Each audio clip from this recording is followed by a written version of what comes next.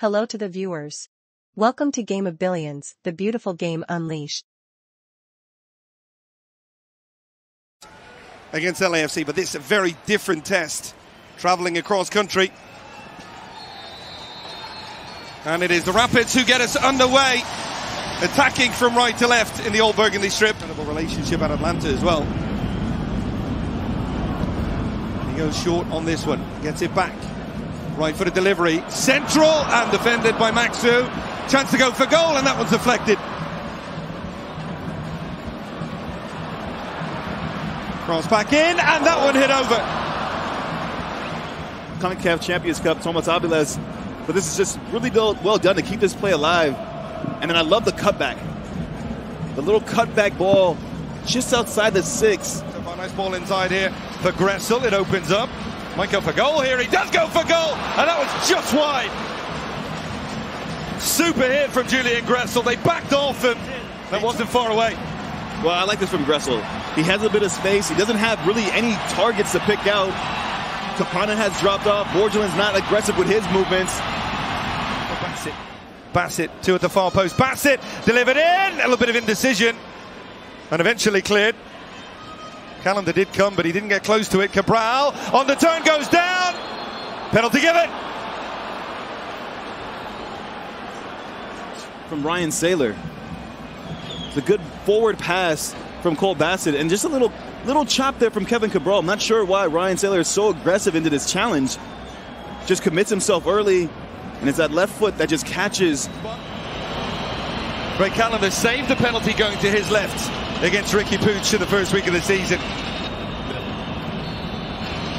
Rafael Navarro with the opportunity to give the Rapids the lead. Still a step, run up! He goes the same way!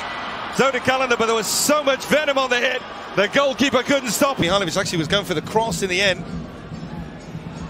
Back for Vines. Bassett.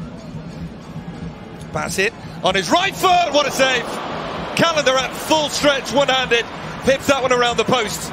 He does well with his timing and his decision making of when to take the strike on, when to go and make that run from deep. This time, it's a strike, a curling effort to the far post that forces midfield well. Oof. I guess it depends on your preference, right? Because uh, he's top two, top two for me. Yeah, he's up there. Good run uh, forward from Negri, the fullback. The cross in. Messi takes it in stride, in off the post.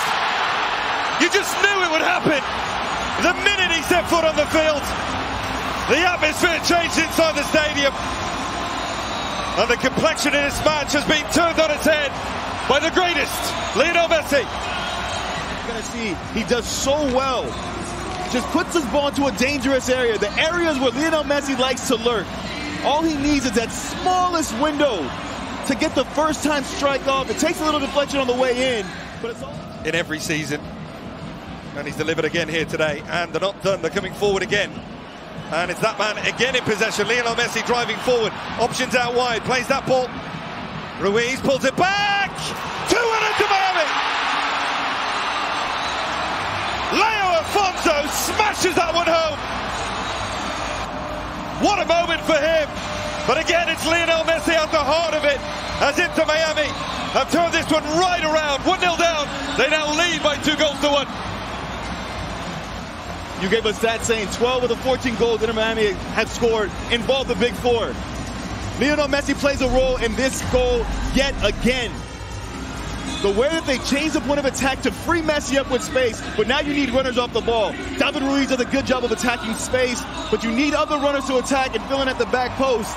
And when Messi has his head up, he's aggressive in his approach, but I love the movement of Leo Afonso on that back post. As Colorado's retreating towards their own goal, he says, you know what, let me just be a little bit composed and wait for my moment. And when it comes across to him, he just side flips so coolly to get his first goal for Inter Miami. And what a goal it is. Young players with really bright futures. As Inter Miami poised to jump to the top of the standings. But we'll hold that story for now. Harris, ball played across! And Bassett has leveled it up! Chris Armas!